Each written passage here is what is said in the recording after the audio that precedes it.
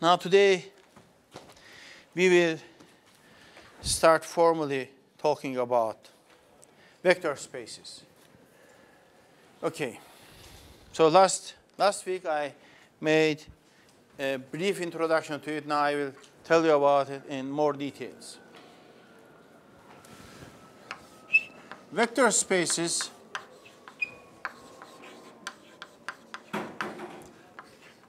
are defined and I will distribute lecture notes to you on this topic, okay? Because I, I don't see in the book a, a coherent explanation of it. It's just in bits and pieces uh, in the explanation of matrices here and there. So I want to give you a coherent explanation of linear vector spaces so that you have a good knowledge of it. Whose elements are defined over a field F, whose elements are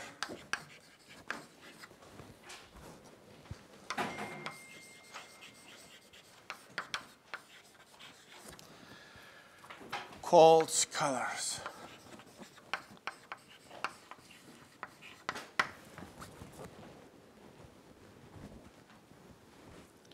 Is there a phone or something here?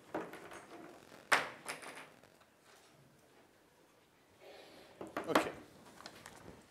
So what is a field?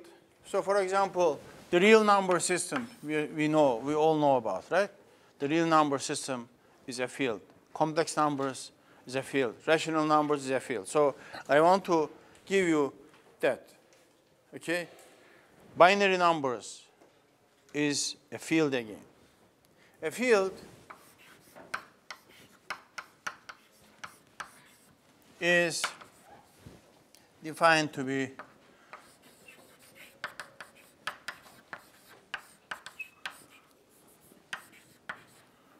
to be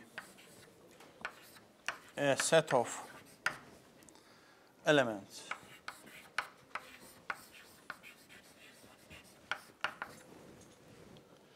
For which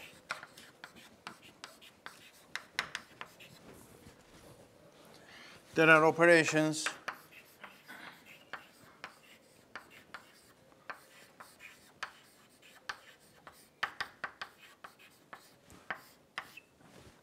and so this is abstract definition of it. Defined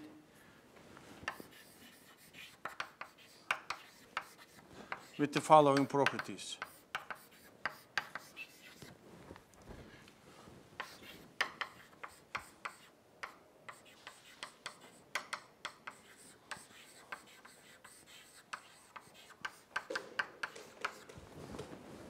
So these symbols, of course, we call them addition and multiplication.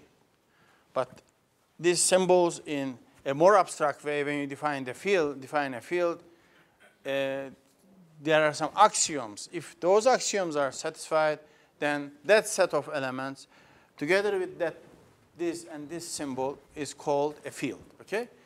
So based on fields, you define vector spaces and other algebra and many other things. Okay?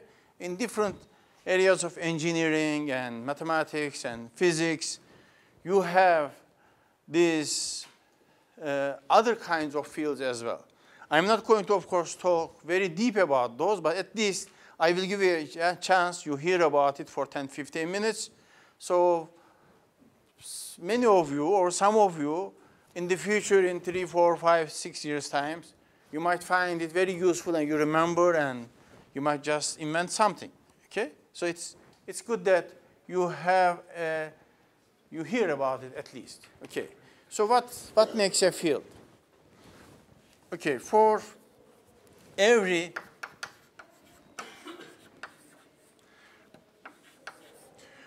alpha, beta in, let's say, F, there is an element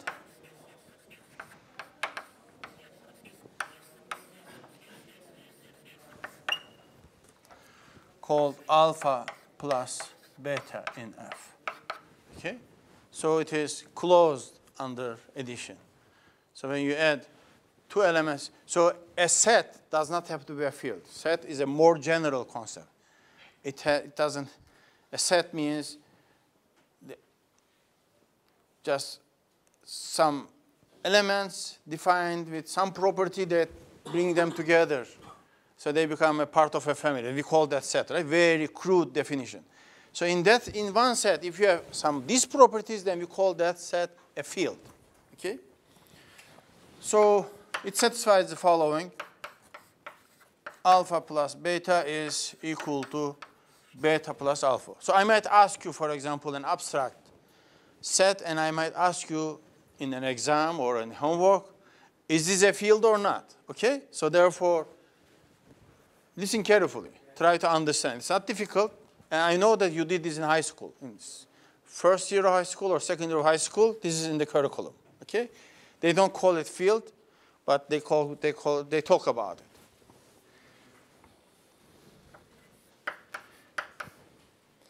So you have all these familiar properties. This is commutativity.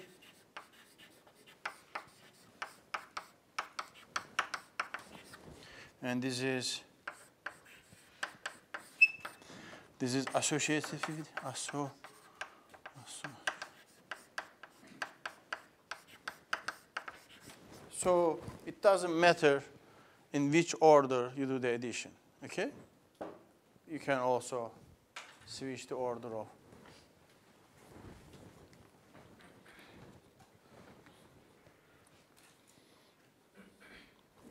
So 3 there exists 0 again in this in that set such that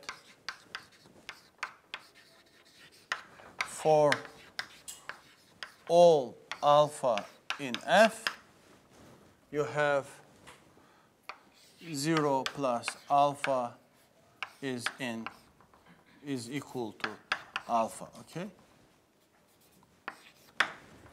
So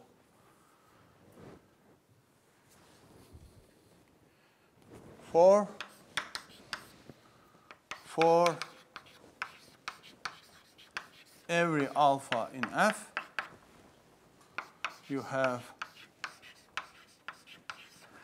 a, a unique minus alpha such that alpha plus minus alpha is equal to 0. This 0. Okay, this is, these are all familiar properties, right? Rational numbers, satisfy them. And real numbers also satisfy this. So if you add two real numbers, the result is a real number, isn't it? Okay? If it doesn't matter if you add 2 plus 5 is equal to 5 plus 2. So changing the order doesn't matter. It is, the result doesn't change. If you are adding three numbers, three real numbers, 2.5 plus 2 you add them first and add 5 to that, or other way around, it will not change anything. 0 is a real number, right? So when we give you counter examples, you will see that it's not, it's not always guaranteed, okay? For every real number, you have another real number that if you add to that, it will give you zero element. For example, if my number is 2.7. What is the negative of it? It's minus 2.7. So if you add these two numbers, you get it. But if, I, if, you give, if I give you the set of positive integers, is this a field? No. Why? It's not a field, right? We use it every day. It's very important. But it's not a field. Why is not a field? Let's say we include a zero, okay? What else? Every number does not have negative number, the inverse of additive inverse, we call this, right? Additive inverse.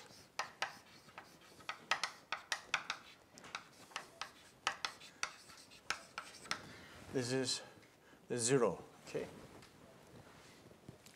So it's not true that everything that we use satisfies that, okay? Okay, so this, of course, this is not enough for that f to be a field. Also, what did we say? We say a multiplication is also defined. So what kind of properties will the multiplication satisfy? Okay, so let's talk about that. So multiplication,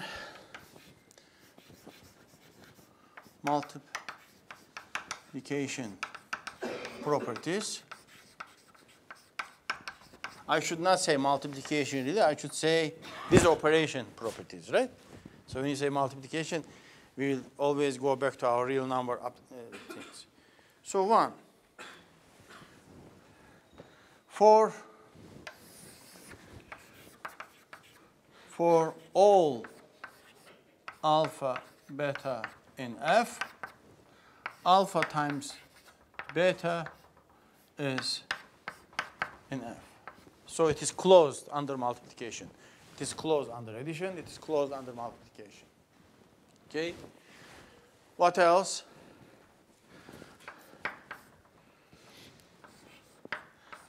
Alpha times beta is equal to beta times alpha. So what? This is commutative proof, right? So it is commutative with respect to addition. It's commutative with respect to multiplication. Okay? Two. Alpha times beta times gamma is equal to alpha times beta times gamma. So associative property is also true for multiplication.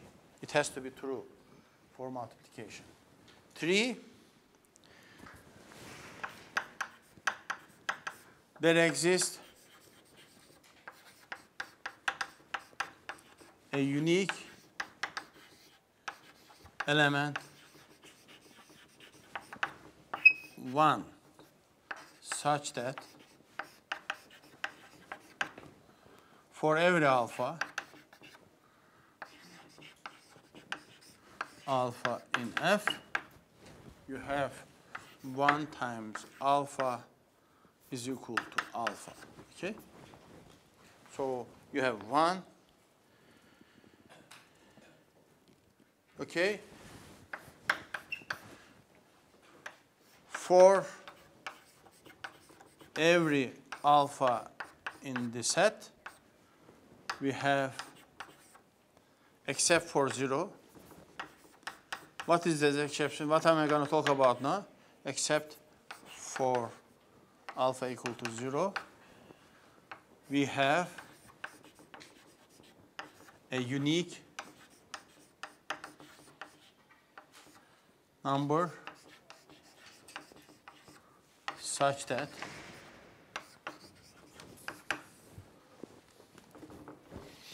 unique number alpha inverse such that alpha inverse alpha is equal to 1. Okay, this is multiplicative inverse.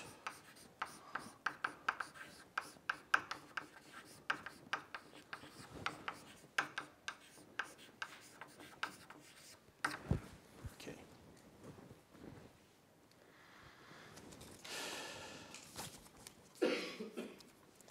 And we have this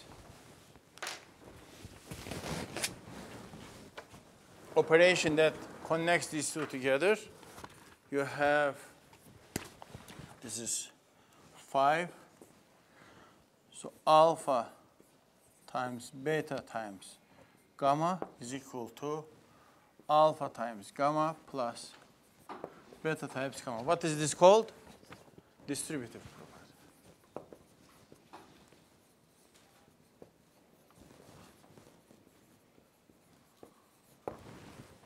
Okay. So as I said, examples of fields, real numbers. Okay, we can quickly, we, we have been through it a few minutes ago, okay? Rational numbers.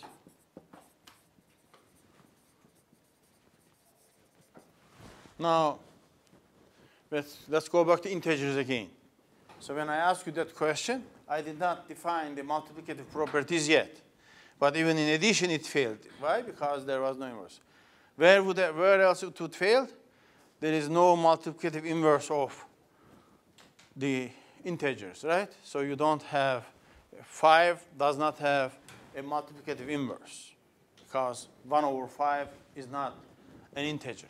Therefore, it would fail in many ways being a field. Okay? How about, let's go about binary, the set of set of binary numbers with modulo 2 arithmetic. This is, of course, very important for us. Electrical engineers, computer scientists, control engineers, we live on these things, isn't it? So binary numbers is, everything we do is based on these things. Machines use this arithmetic. So is this a field? Okay? Shall we go through this now? So we have, what is the property of 0 and 1? So let's talk about this plus 0, 1, 0, 1, okay? And we have multiplication, 0, 1, 0, 1. So what happens? When you multiply, when you add 0 and 0, what do you get? 0. When you add 0 to 1, 1 to 0, 1. 1 to 1, so there is no 2, right? So modulo 2 arithmetic, it is 0 again. Okay? So multiplication 0, 0, 0, 1, right? So this is the multiplication table. Of course, in decimal system, we would have here 0, 1, 3, all the way to 9, and here, and then we would just talk about their addition. Okay? Now, so when you add two numbers, as you see, you have only two numbers anyway. You have any, you have nothing else. When you add two numbers, okay, these symbols, you will get another binary number, right? When you multiply two numbers, you again get a binary. How about, does it matter that I add 0 and 1 or 1 or 0? No.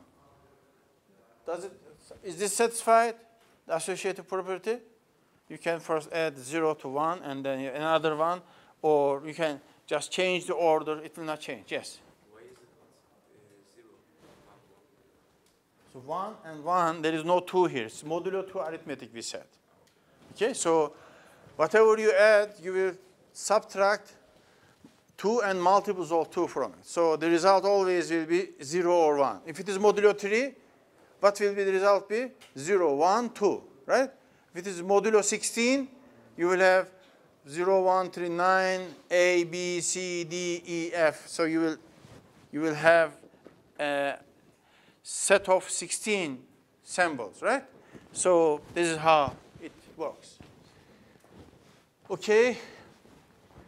So 0, again here, if you add 0, it doesn't change it. You, as you see here, adding 0 brings you the same thing back. And does every element has an inverse that when you add to that you get 0? Yes. So what do you add 0 to get 0? 0 itself, okay? 1, if you add 1 to 1, it becomes 0 again.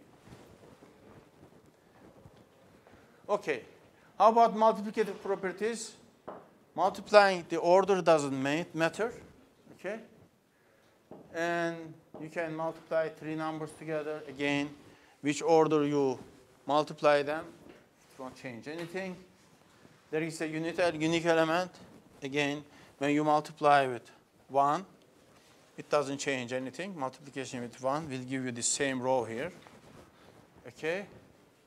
For every alpha, do you have a unique element that when you multiply with that, you get 1. Okay? Except 0. So you have 1. When you multiply with 1 with 1, you get, so 1 is inverse of itself. So you have. So therefore, this very simple set of uh, elements with this multiplication and addition is a field. Okay? How good it is, how do we use it is you are going to learn this in other classes, digital circuits and uh, yes.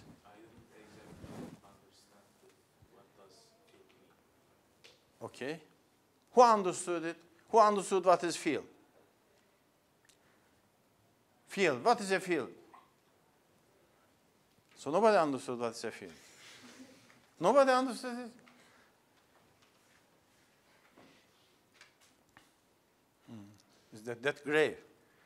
So you know, I didn't erase anything. It is here. I am saying that I give you a set of elements. Let's say set of real numbers, right? What are real numbers? What are real numbers? Do you know what's real number? Plus infinity.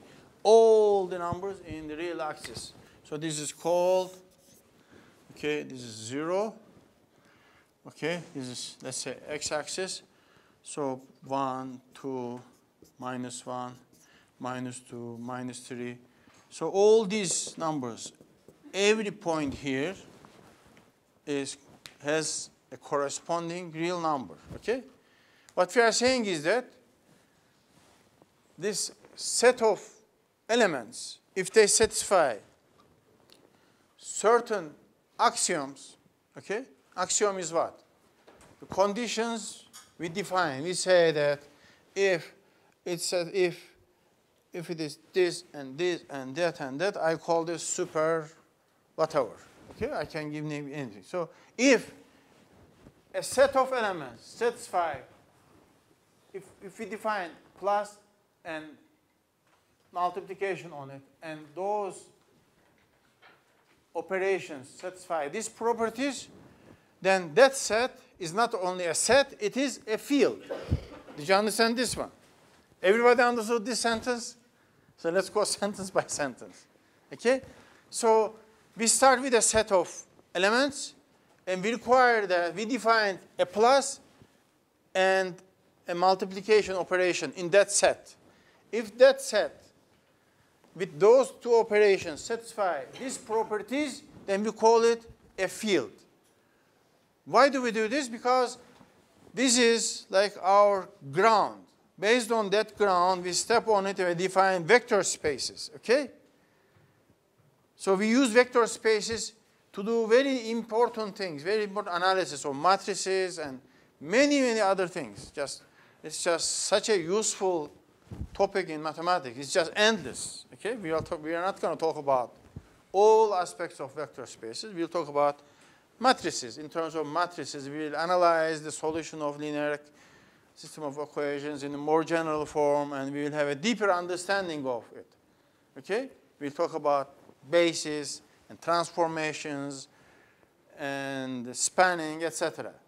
But in the beginning, I am giving you a general understanding of vector spaces, including the more basic concept of a field.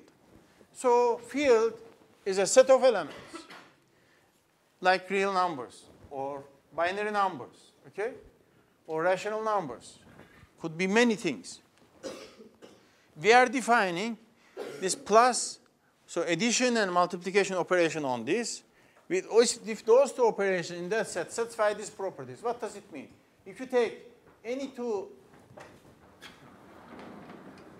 if you take any two elements in that, in that set, you know what is a set, right? Set is this. So you have set A, you have alpha, beta, gamma. So you have a bunch of things in it, okay? You have another set, let's, so you remember this, B, then you have T, U, one, two, five, six, okay? So you have two sets and intersection of the sets and union of the sets. You know these things. You, who did not hear, who never heard about a set? Is there anybody who, didn't, who never had heard about a set? What is a set? In high school, you never heard about a set? Come on. You didn't take any math course in my high school? Kümeleri öğrenmedin mi yavrum? So I'm telling you this.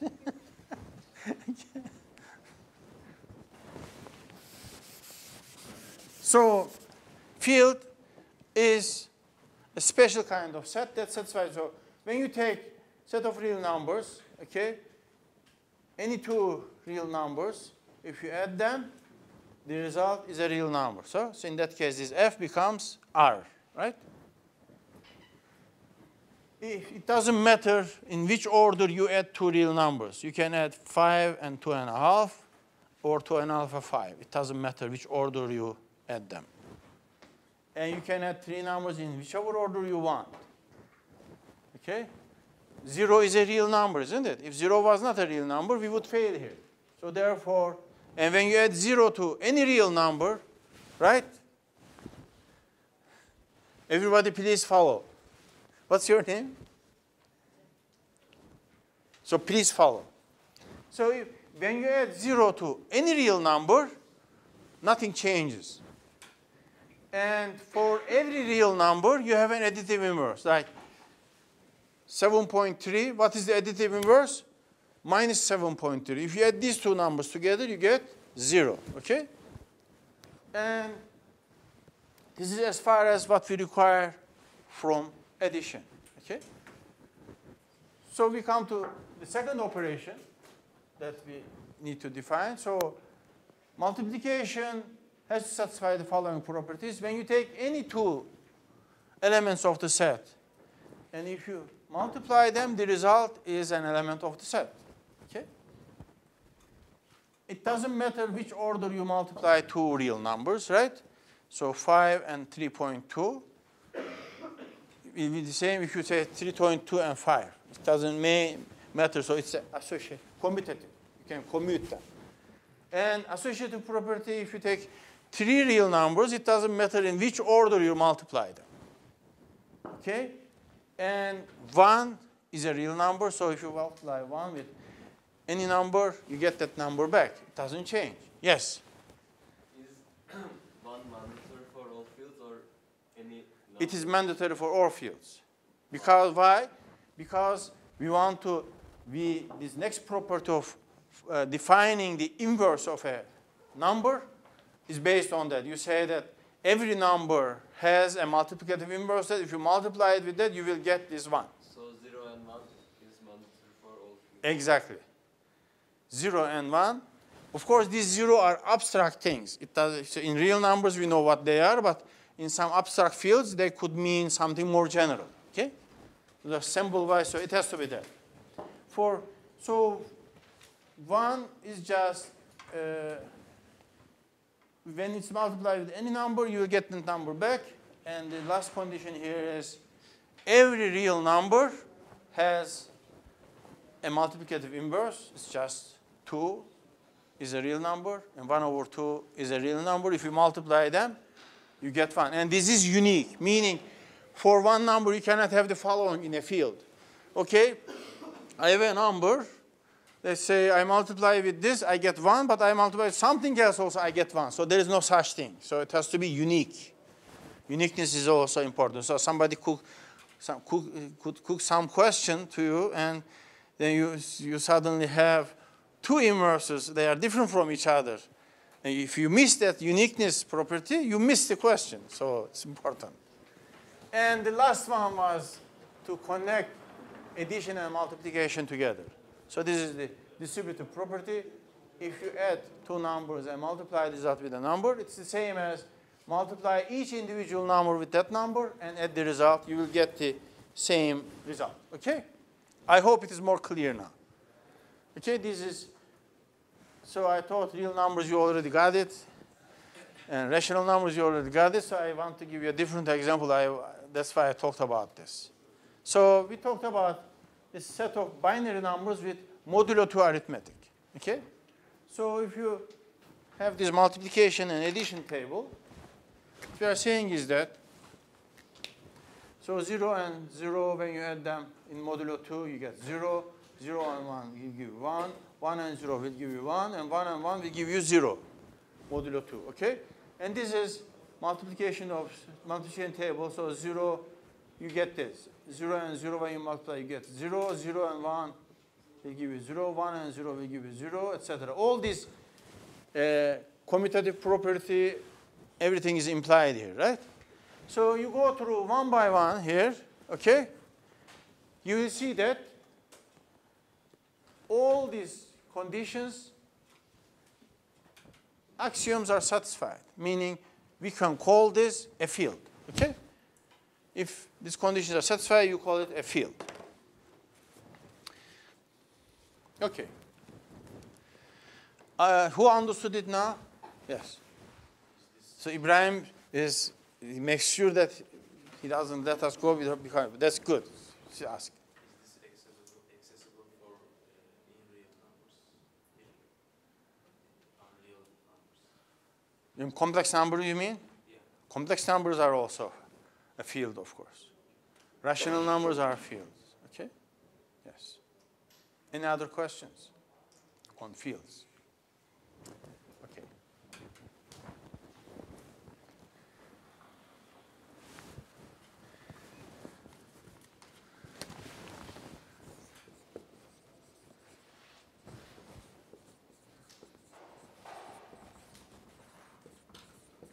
Linear vector spaces.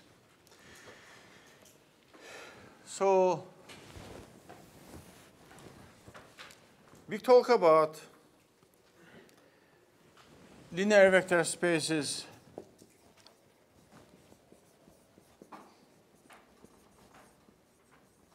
let's say L over a field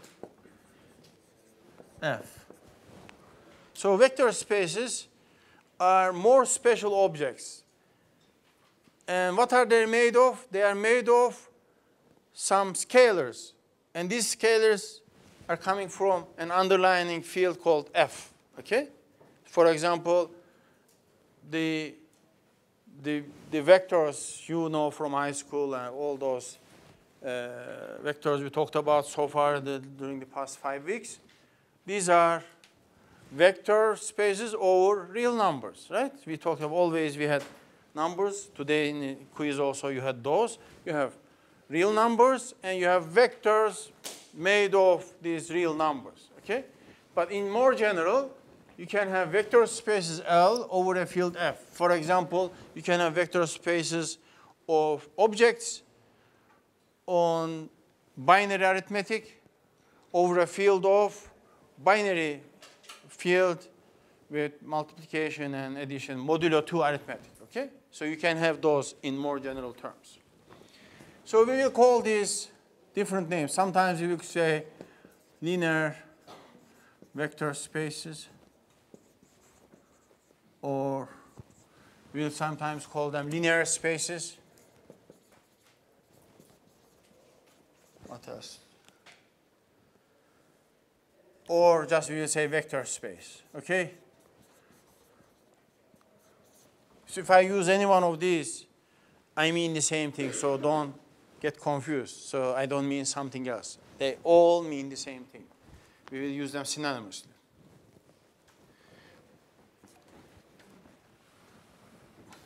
So the elements of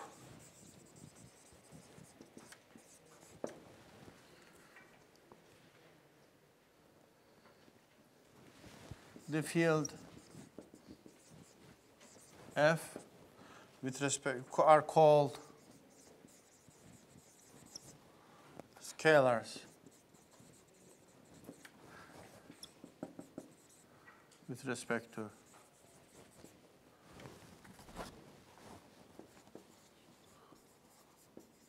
vector space L. Meaning, I will talk about scalars and I will talk about vectors. So these two things we will use them when we study vector spaces. Therefore, we will say linear combination of vectors means you are multiplying vectors with scalars and adding them up. Okay, so therefore, to avoid confusion, so we, scalar means that it's not a vector, it is a member of the underlying field F. Okay. Now, let's now formally define vector space for every vector space. Okay? These are now axioms. Okay? For every element x, y in L, so L is a vector space, you have x x plus y is in us, so in L. Okay, this is most important purpose. It is closed under addition. So if you have two vectors in a vector space, the result is the resulting vector is a member of the same vector space. Okay, that's property number one. So you have again have x plus y is same as y plus x. Again, commutativity. Okay, associative property is still there.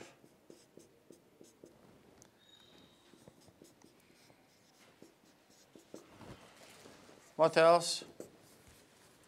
There exists a zero. There exists a zero vector such that for every x in L, x plus 0 is x. It looks like field, right? So far, it has similar properties. We will see where it differs. Okay, for, for every x in L, there exists a unique minus x such that x plus minus x is equal to zero vector. So these are all vectors. Okay? This is additive inverse.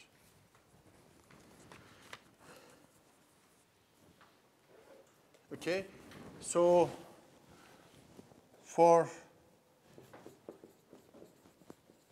every alpha in F, so for every real number you can think of it, and for every x in L, there is supposed to be be alpha x in L. So it is, you can multiply vectors with any number in the underlying field, and the result will be in the in the set, in the vector space. So it, should, it has to be closed under scalar multiplication. So it has to be closed under vector addition and scalar multiplication. Okay, five.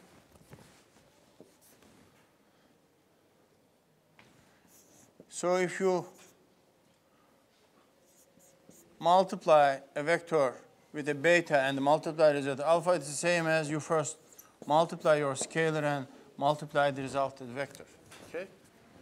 Five, six. And one is multiply there is a one that when you multiply in the in the field such that when you multiply it with x, you will get x back.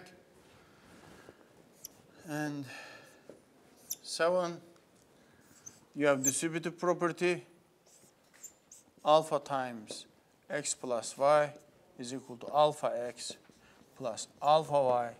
So you can first add the vectors and multiply with the scalar, or you can first multiply scalar individually and add the result. You will get the same result. Okay? And you have eighth property is that you can if you add two scalars and multiply with a vector, it's the same as alpha x plus beta x.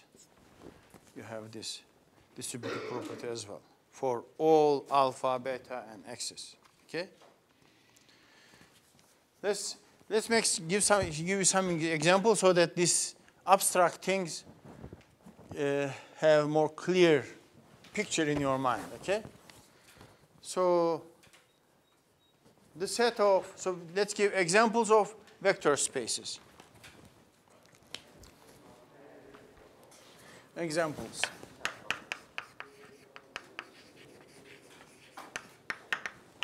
One, the set of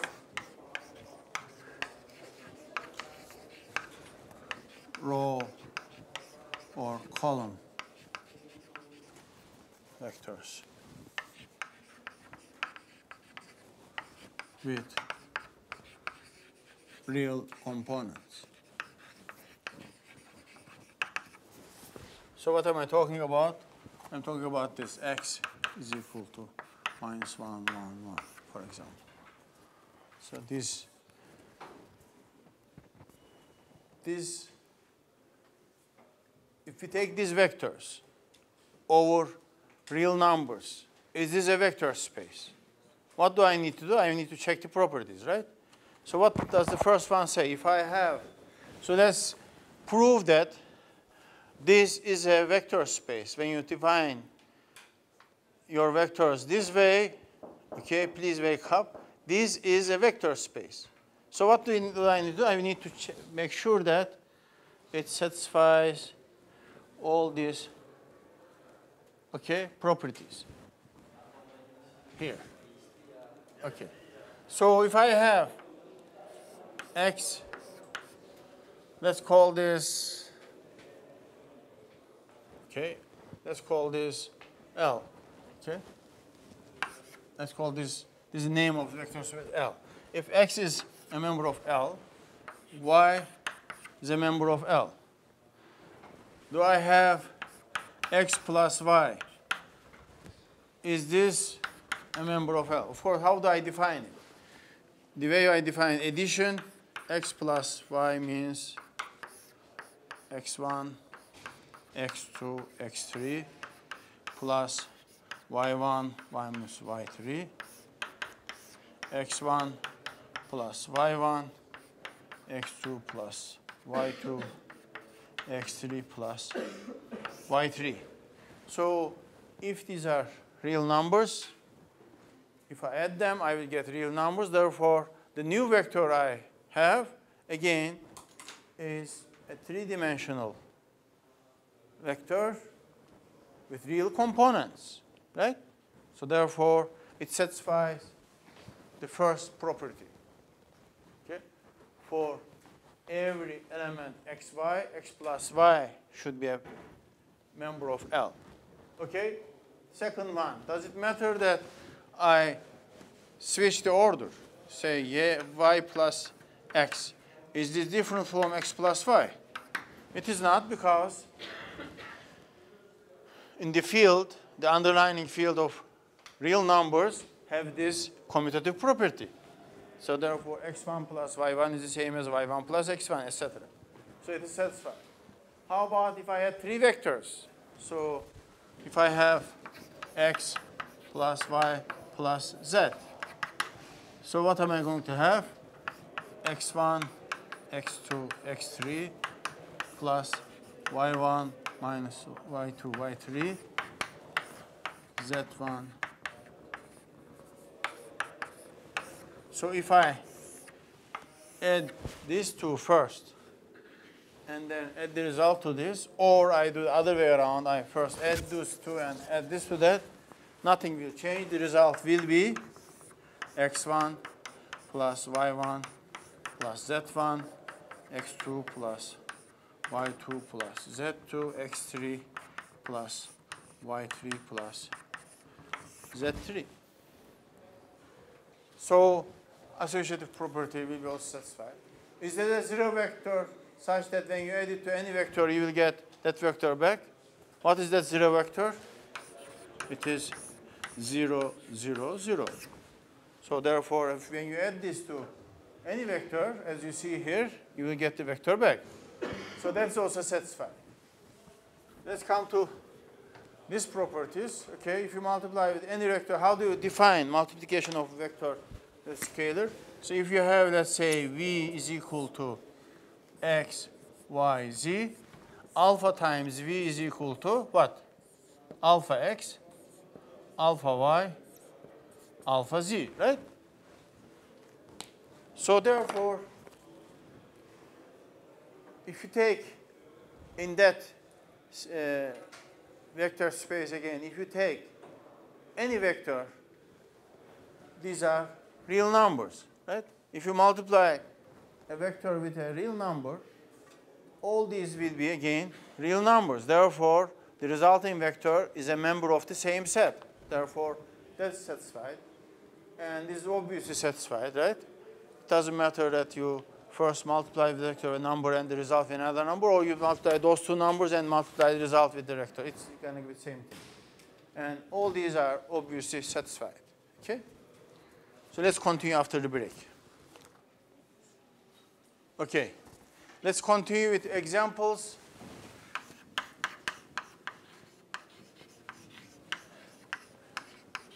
of vector spaces.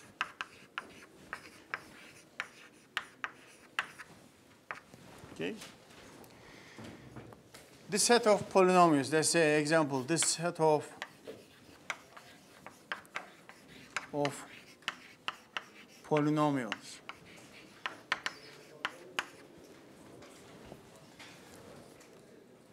So this is a vector, right? X alpha 0, alpha 1, omega plus alpha 2, omega square. So this omega is variable. In electrical engineering, we call this frequency, right? So we use omega letter. It is we use F and omega. This is used for frequency. So you will you will face this. You will use this a lot. So let's call this second order set of second order polynomials. Is this a vector? It doesn't look like this, right? Not. So when we say vector, we talk about this, right? So 1, minus 1, 2, etc. So, or, so we are used to these columns or rows. But here we have this. Is this, or can these axes form a vector space? So what do we need to check, basically? If I have an x, let's say, okay, this, and let's say I have another vector, let's call it beta 0, beta 1.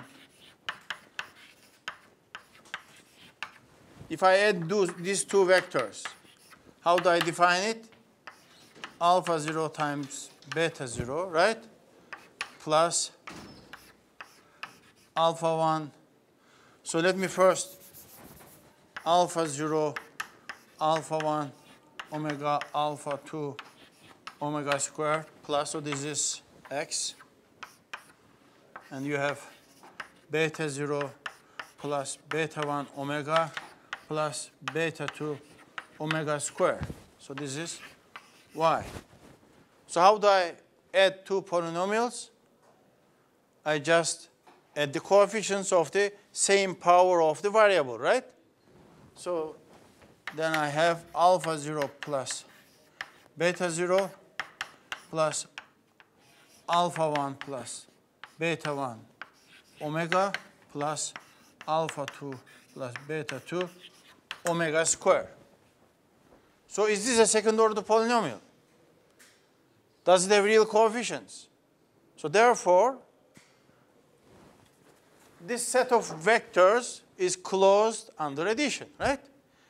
Is there a zero vector? What is this zero second order polynomial? So if all the coefficients are zero, that is a zero vector, right? So zero, zero vector is just when is when alpha 0, alpha 1,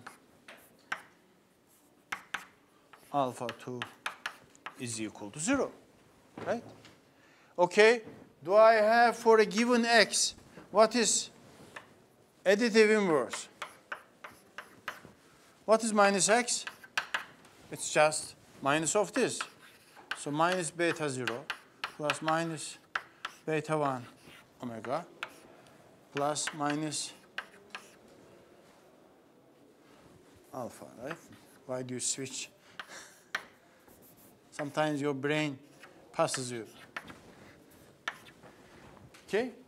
So if you add these two together with x, okay, x and minus x, you get zero vector. Therefore, you have the additive inverse. What else do we need? So it is closed under addition. And if you multiply with a real number, you don't get a third order polynomial, right? You get a second order polynomial. Therefore, it is closed under scalar multiplication, right? It has additive inverse. It is closed under addition. How about if I add, what was the other property? This. So x plus y plus z is the same as x plus y plus z. It is, right? So if you have x is alpha 0 plus alpha 1 omega plus alpha 2 omega square, y is beta 1 plus beta 1 omega plus beta 2 omega square, and z is gamma 0 plus gamma 1 omega plus gamma 2 omega square. And you do this operation, what do you get? X plus y is alpha 0 plus beta 0 plus alpha 1 plus beta 1 omega plus alpha 2 plus. So if you add to the z, okay, so you have here gamma 0 plus gamma 1 omega plus gamma 2 omega square. So what do you get? Alpha 0 plus beta 0 plus gamma 0, right? Alpha 1 plus beta 1 plus gamma 1 omega plus alpha 2 plus beta 2 plus gamma 2 omega square. But on the other hand, because of the associative property of the field of real numbers, this doesn't matter which order you add these up. So therefore, it satisfies that property too. Is there a zero vector? As I said, there is a zero vector. Therefore, these polynomials over the field of real numbers form a linear vector space. Who agrees? Any objections? You object, okay. What is it? Go ahead. You didn't understand zero vector. Zero vector is just this. Zero, so you just make this, this, this coefficient zero. It's a zero polynomial. So zero is a polynomial, isn't it? So when you have, let's say, polynomials, okay? Let's say second order polynomials, 1 plus 2x minus x squared. This is a second order polynomial, right? So this is P2. P1 of x, 1 minus 2x. This is a first order polynomial, right? So zeroth order polynomial is, let's say, 5, a constant number. This is a polynomial. Of course it is. The other coefficients are 0, okay? And 0, so 0 of x It's just zero, right? So zero polynomial. So all the, when all the coefficients of a polynomial are zero, that's called the zero polynomial. Okay? So zeroth order polynomial is just constant number. That means there is no x's in it explicitly, just you have a constant number. But zero itself is also a polynomial. Okay? In this vector space, in this vector space, it corresponds to the zero element. Okay? Does this make sense? See, that's why axiomatic description of vector space is important. So the set of second order polynomials is a vector space, same as, same as this. As a matter of fact, this is a third order vector space because it is parameterized by three parameters. So when you have three-dimensional space that we live in x, y, and z, this is also parameterized by three vectors. So these are, they, as a matter of fact, they are equivalent vector spaces, okay? So you can consider one and the other. So you might find something that instead of doing it with this kind of vectors and things, if you were to do it with polynomials, maybe you would have an extra advantage and bring in some polynomial factorizations, etc., that will solve your some problems. Okay, we did those kind of things in the past. So therefore, this interplay between this, these vectors and polynomial vectors and others could turn out to be very useful in your research in the future. So I am looking at you as potential and future scientists. That's why I am teaching you and I'm underlining this is very important. Okay. So this is a vector space. So set of these polynomials form a vector space. We proved it. How did we prove it? We have the definition of the vector space axioms. If those axioms are satisfied, any set of elements that satisfy those axioms, they are vector spaces. So here it is. This is a vector space. How about, last week we talked about it, how about if I slightly change this and I say this, this set of second order polynomials where alpha 2 is non-zero, okay? That it strictly has degree 2. Is this a vector space? No, right? Absolutely no. Why? There is no zero vector in it, okay? There is no zero vector in it. That's the reason. Why. Okay? Okay, consider the set of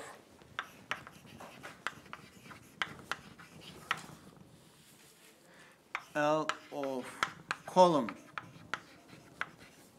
Vectors. X. X1 x2 where? X1 and x2 satisfy x1 and x2 are real numbers. So we are this is defined over the field of field of real numbers. Real numbers. And x1 x2 satisfy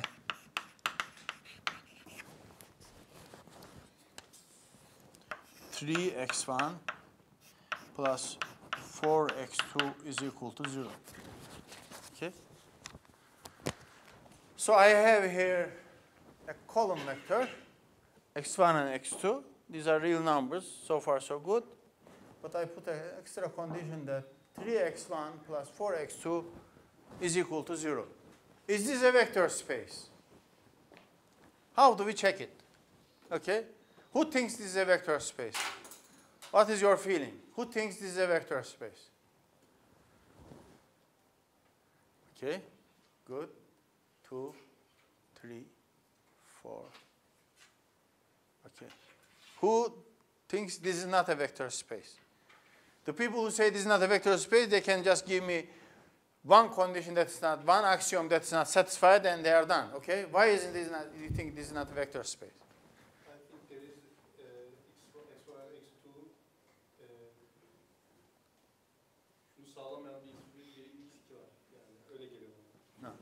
This is a vector space, okay?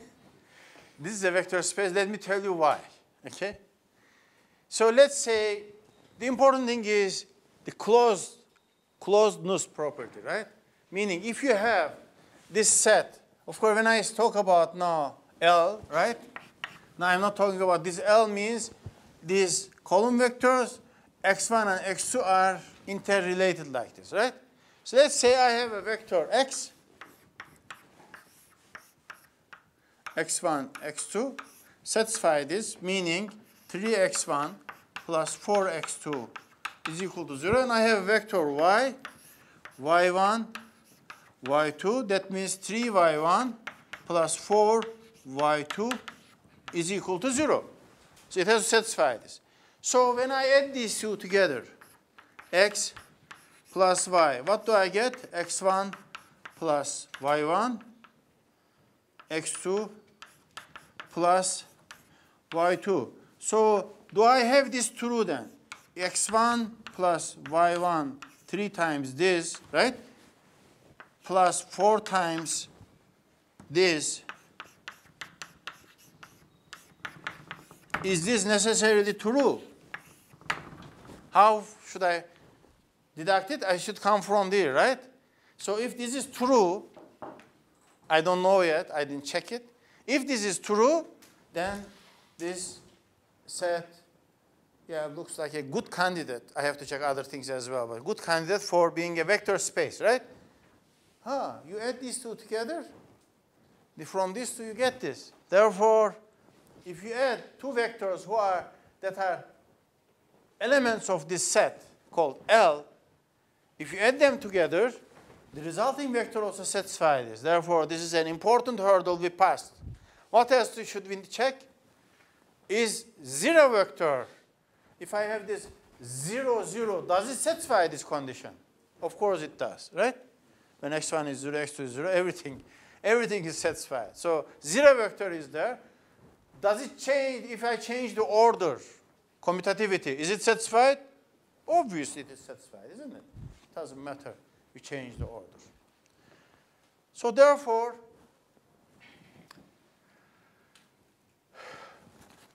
okay, associative property obviously satisfied. Zero is there. What else? It is closed. So therefore, it is a vector space. As a matter of fact, what is the, what do you think is the dimension of this vector space? Who thinks it is two? Two. Who thinks it is three? Who thinks it is one? Maybe. Who thinks it has no dimension? it is one dimensional. Why? The reason is this.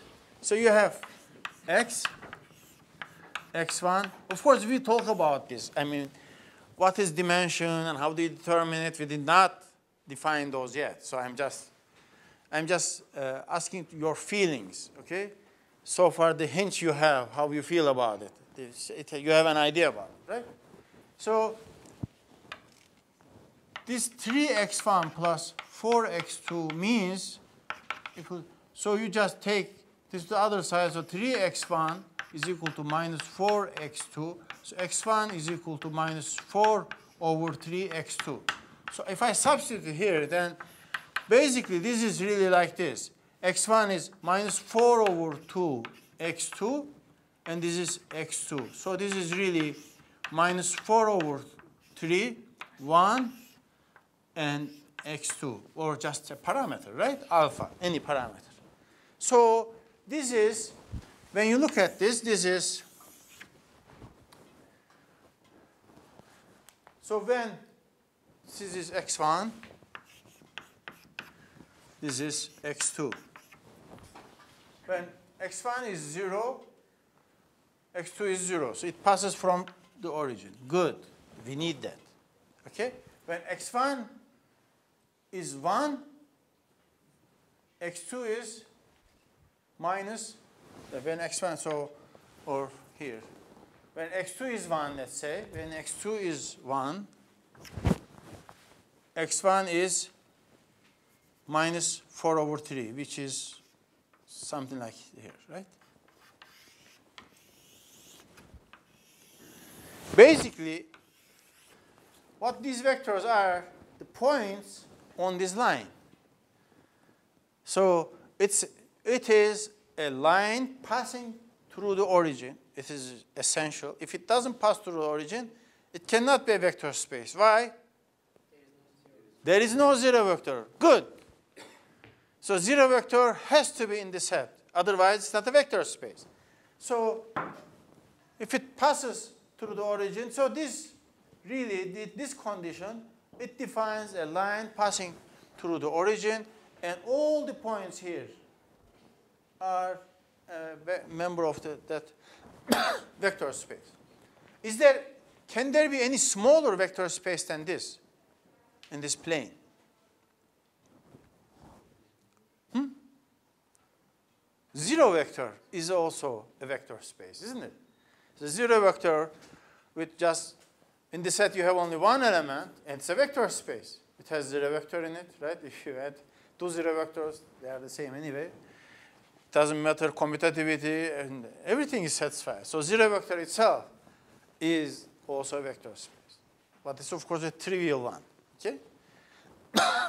so this, keep in mind therefore that if you have like x1, x2, or x3, xn, it doesn't mean that it is an n-dimensional vector space.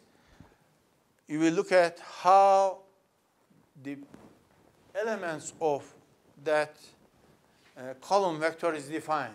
What are the conditions on it? That's going to determine what is the dimension of that vector space. Yes. Excuse me? If zero, zero, zero, one. This? No, no. This? Three x one plus. 4. Bir üstteki hocam. Hocam 3x1 artı 4x2 eşittir 0 olsun. 3x1 Yeah. eşittir 1. Ee, yine şey olur mu? Vektör şey. Okay, let's see that. So if this was 1, okay? Good. We have to ask this, okay? Does this pass through origin? So that, what does this mean? All of the x's has to satisfy this, okay? So zero vector is what? x1 equal to 0, x2 equal to 0 has to be a member of the set L. So therefore, it wouldn't be a vector space. So the line has to pass through origin. So the very important thing is zero vector has to be uh, in the set. So when you put this anything other than zero, it's not going to be a vector space. Okay? It's going to be, in that case, what will it be? So when x2 is 0, x1 is 1 over 3, right? When x2 is 0, 1 over 3, so it passes from here. And when x1 is 0, x2 is plus 1 over 3. So it is, it is this. So it will pass from here. So it's a parallel line. It doesn't pass through the origin. Therefore, it would not be. Thank you for asking. Because when you give a counter example, it also, when you give just example itself, it shows like, okay, maybe everything is, everything is just trivially a vector space. It's not. So when you change that zero to anything other than zero, it will not be anymore a vector space. Is?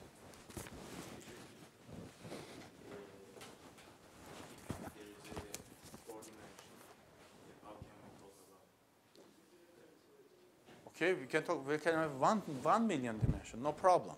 We are not going to be able to plot it, but all, everything else we do it just beautifully through uh, matrix operations and algebraic operations, we solve it. So you cannot visualize it, but for us, it doesn't matter if it is one dimensional or one million dimensional. It's the same thing. All the algebra is the same. Okay? No problem.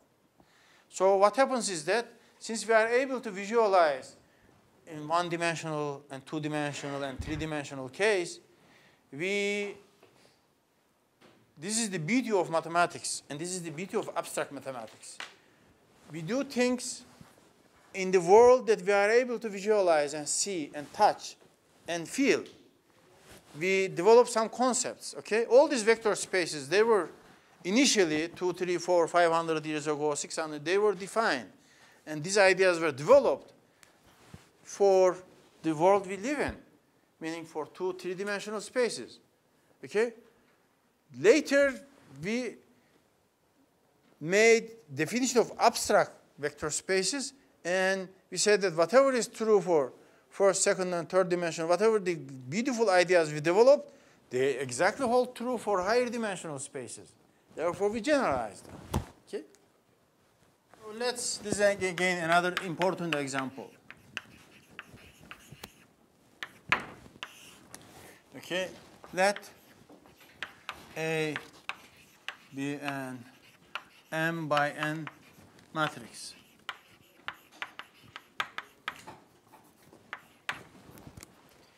Of real numbers.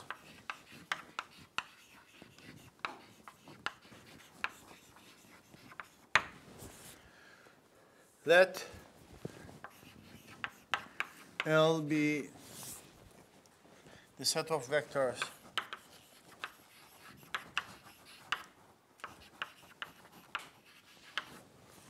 with n real components.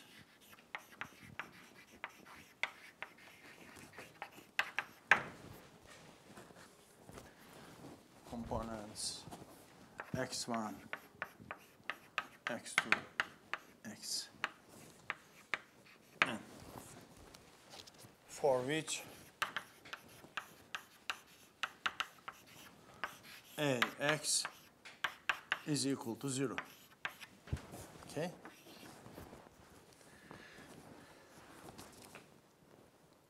The set L is a linear vector space over the real numbers, okay? So this, the set L is a linear vector space. Okay, over the over the underlying field. Okay?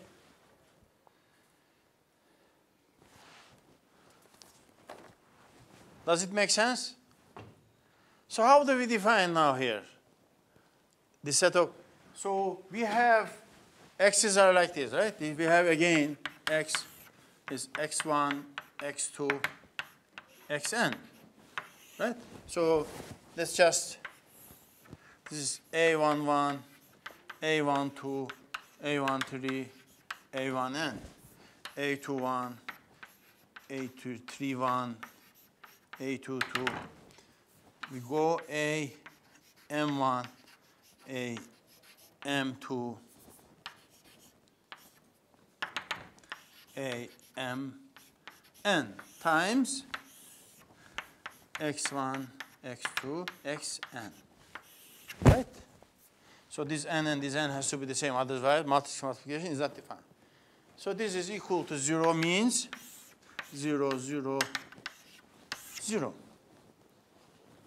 How many of these? N? M, right?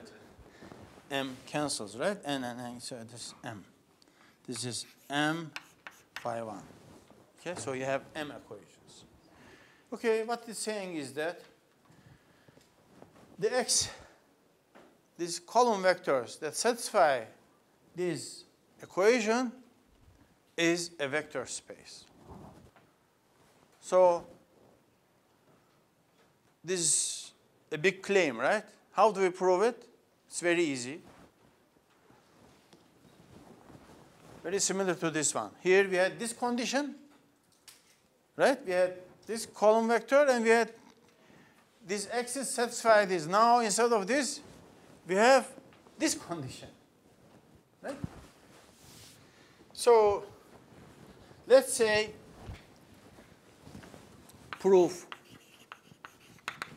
Let's say x and y are, let's use terminology, okay? That's a, what does this mean? This means ax is equal to 0 and ay is equal to 0. That's what it means. So what we are wondering is, when you have x plus y, is this true?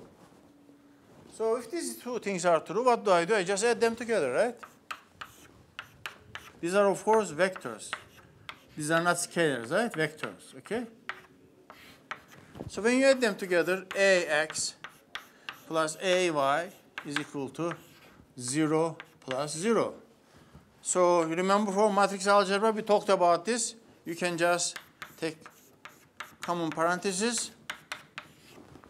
Okay? So what does this mean? If ax is equal to 0, ay is equal to 0, that means x plus y also satisfies the same thing.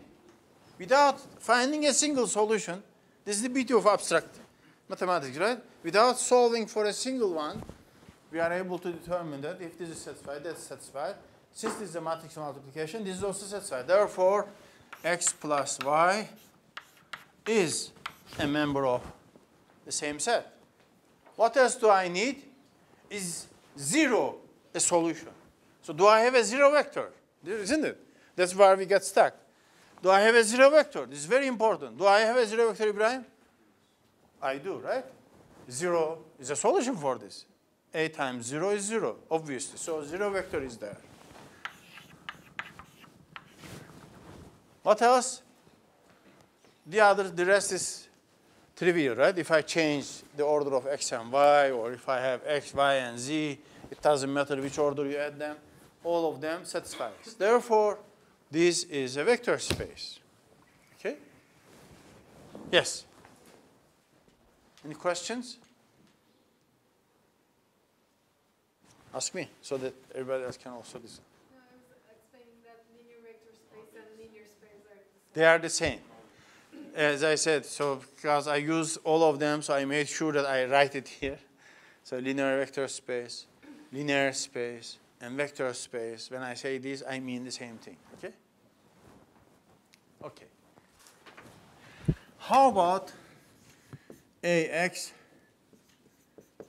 equal to b? I'm not writing the whole thing, but let me write it anyway. So it's this is important for this course. Let's Okay, let me write this.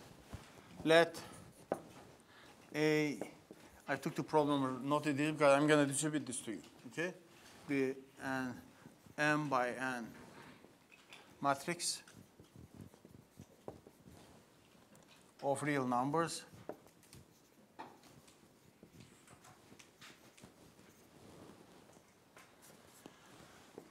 And let be a column vector.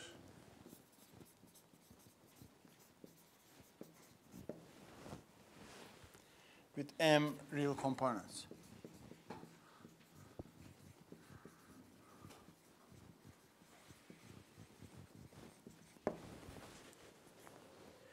Consider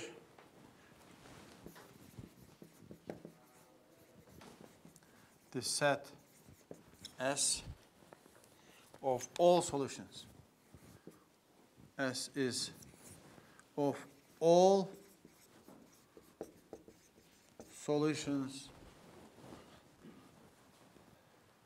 X of the equation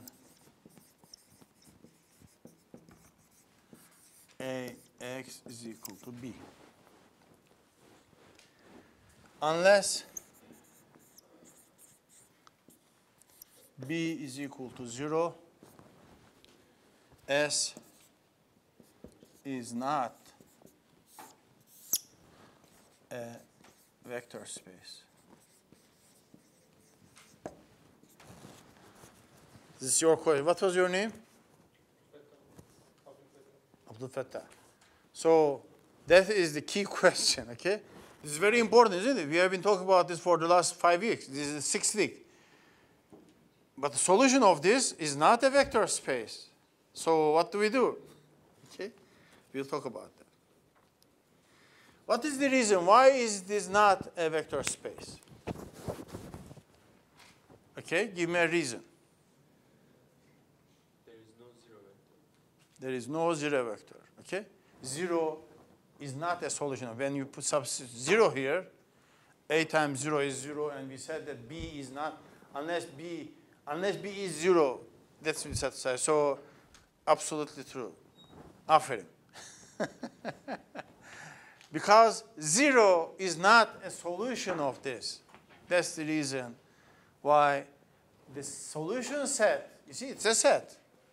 So you have maybe endless amount of them, okay? It doesn't have to be one or two. You can have infinitely many of those, right?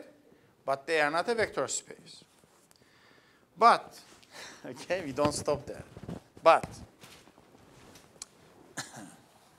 let's say, so but suppose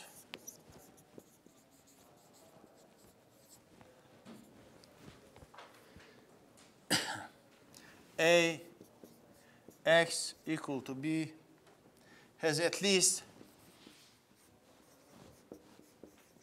at least one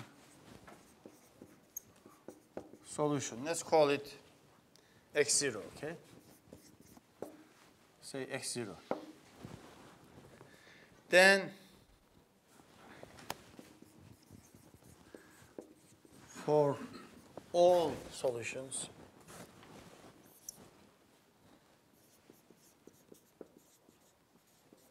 x, you have, we have a x minus x0 is equal to 0. Okay?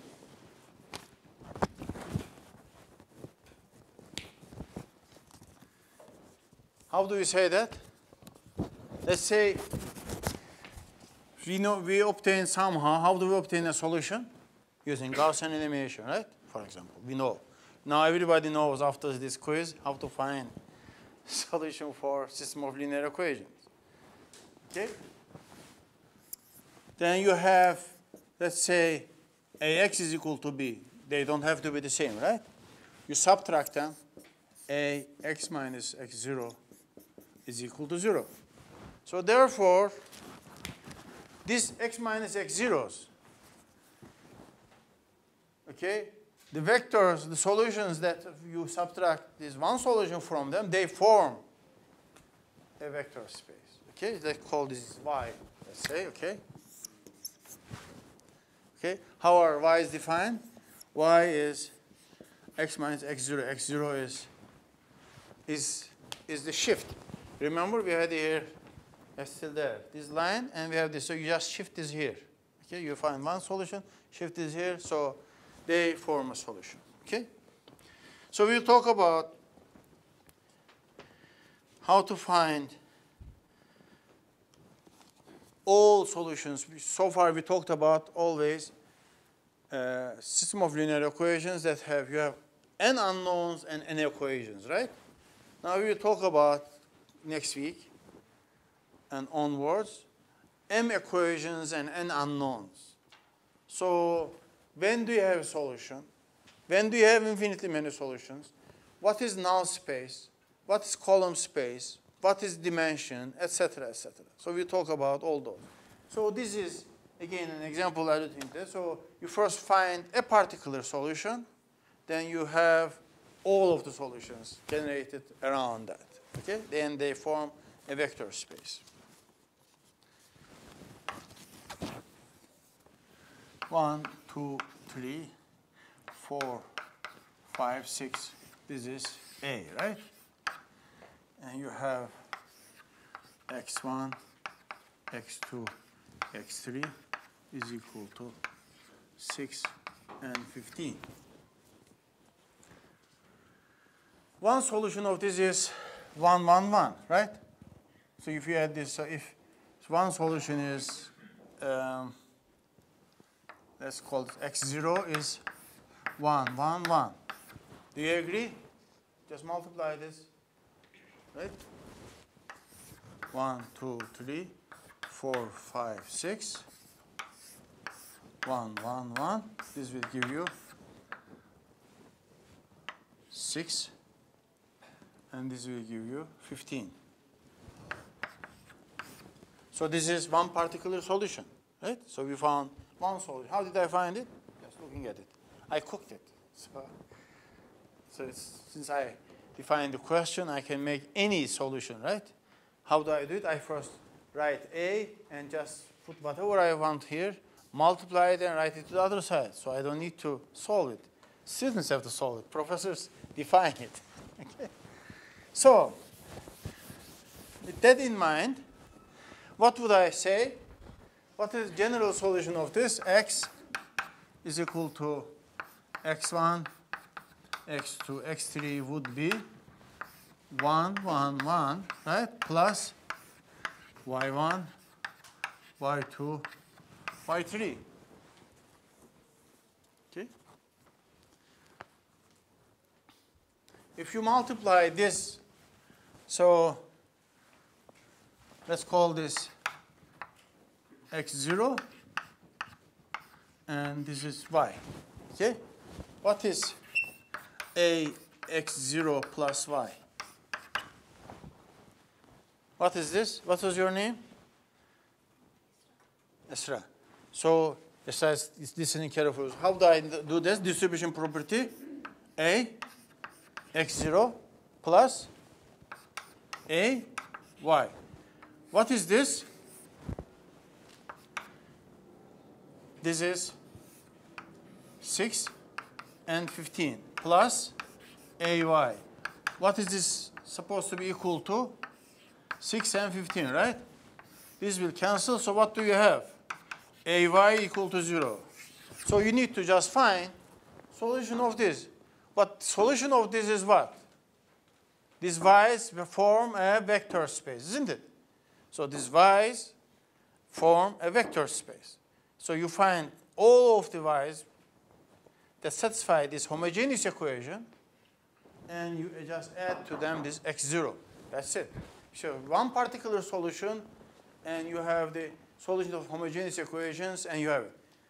In solution of differential equations, you will take that course next year. It's the same idea.